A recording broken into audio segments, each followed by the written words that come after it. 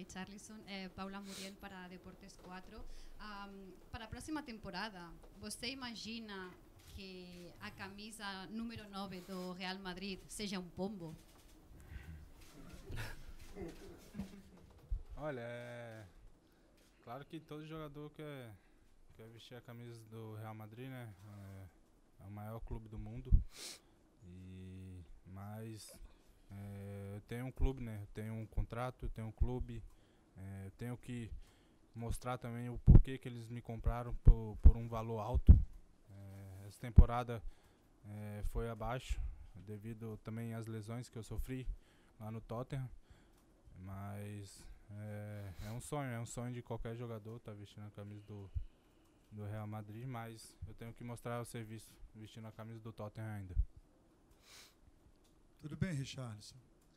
Mas já houve algum, algum contato do Real Madrid com você? Você tá, esse teu sorrisinho aí acho que já responde, hein? Não, é, como todos sabem, o Ancelotti me treinou né, lá no, no Everton e, e a gente conversa é, bastante.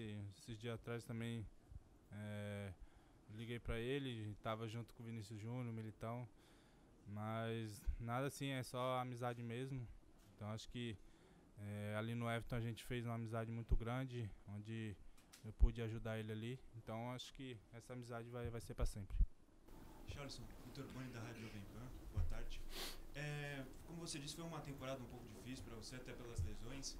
Mas na seleção, não importa o seu momento no clube, você sempre rende, sempre está rendendo, fazendo seus gols. E queria saber se você sente que quando você veste a camisa da seleção, o que acontece no clube fica para trás, é outro ambiente, outro momento. Que, como você pode analisar isso? Ah, acho que, sei lá, né? Acho que quando eu visto a camisa da seleção é.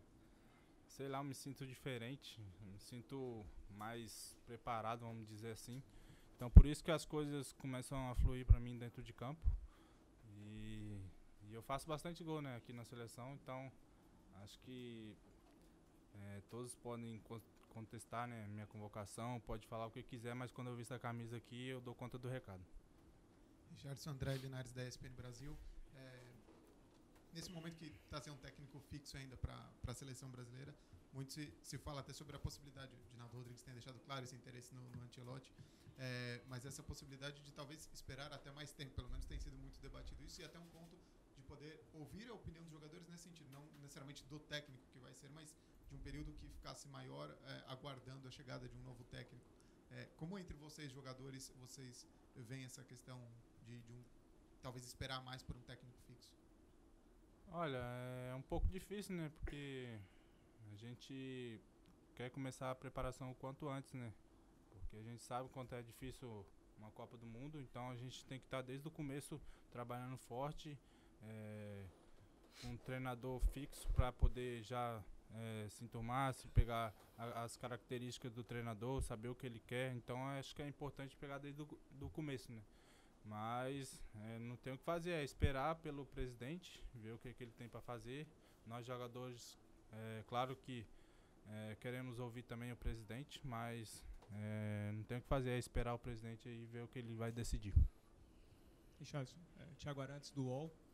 É, você teve uma temporada muito difícil nessa temporada, mas a anterior foi muito boa. Foi talvez a, uma grande temporada que você teve na, na Europa. E o treinador, coincidência ou não, foi justamente o Ancelotti. Você falava da conexão que você tem com ele.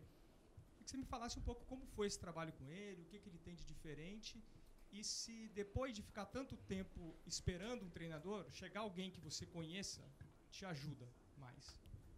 Olha, é, o Ancelotti é um cara ganhou praticamente é, ganhou tudo, né? Ganhou tudo na Europa. E com, com certeza, se, se ele vier, se ele estiver aqui com nós, vai, vai nos ajudar muito. E com certeza a gente vai estar tá brigando por todos os títulos. E lá no Everton, é, ele me ajudou muito. Eu me sentia, sei lá, um fenômeno, um fenômeno né, na mão dele. Porque eu começava a fazer gol sem parar, né? Então, é um cara que me ajudou muito. E eu virei parceiro dele, tanto que todo final de jogo ele me levava para casa no carro dele e eu já me sentia até um filho dele já. Então acho que é, é um cara sensacional que, que se o presidente acertar com ele vai, vai nos ajudar muito. Richardson, Thiago Leme da Band Esportes e Rádio França. É, ainda nessa linha do novo treinador, vocês jogadores gostariam de ser consultados pelo presidente? Já foram consultados? E falando do Ancelotti, é, é, você indicaria ele para o presidente se fosse consultado? Olha, é, isso é, é conversado entre jogadores e presidentes. Né? Acho que, creio eu que em breve ele vai fazer uma reunião né, com os jogadores para saber os detalhes, para saber o que a gente pensa também. E é isso. E é como eu falei, não adianta se precipitar agora, é, ficar é, eu escolhendo um ou outro. É, a escolha não, não é só minha, é dos jogadores, é do presidente.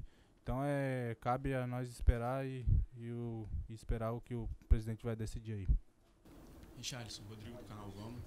É, você jogou uma Copa do Mundo com a camisa 9, você jogou uma Olimpíada com a camisa 10. Quero saber quando você vem aqui para a seleção, não sei como é essa escolha, se vocês escolhem, se escolhem para vocês, mas você vai pedir para ser o 9 ou vai pedir para ser o 10, já que o Fernando está aqui? Quero saber o que você vai querer. Não, a 9 já é minha já, pô. É, pô. Eu acho que não tem que ficar escolhendo. Acho que fiz uma, uma boa Copa do Mundo, mesmo não tendo título, mas acho que aqui na seleção é, todos sabem que eu sou o cara do homem gol aqui, então acho que não tem que ficar escolhendo camisa, a 9 já é minha. Charles, acá eh, Jordaliza Uruguayo. Te quiero preguntar muy cortito sobre el Tottenham y Rodrigo Bentancur, cómo está, porque se ha sabido muy poco de él después de una lesión muy grave que tuvo a mitad de temporada y el equipo con su ausencia bajó mucho. Eh, ¿Cuál ha sido la importancia de él en esta temporada y cómo está? Si has podido hablar con él, puedes responder en portugués. Ah, creio, creio que o, Rodrigo Bentecu é, é um dos principais, é, principais jogadores né, do Tottenham. Ele que faz o jogo fluir ali, ele que faz girar a bola ali. Então acho que é, ele fez muita falta né, nessa reta final. É, o treinador contava muito com ele e depois da perca dele, o time caiu muito de rendimento. A gente não conseguiu é, o máximo de vitórias ali para conquistar é, uma Champions League ou Europa League para a próxima temporada. Então a gente perdeu esse jogador, mais alguns lesionados, então o time sentiu.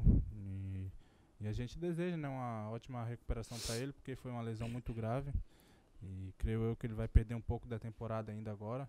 Então é desejar que ele recupere o mais rápido possível aí para poder nos ajudar. Richardson aqui, Bruno Cassus do GE.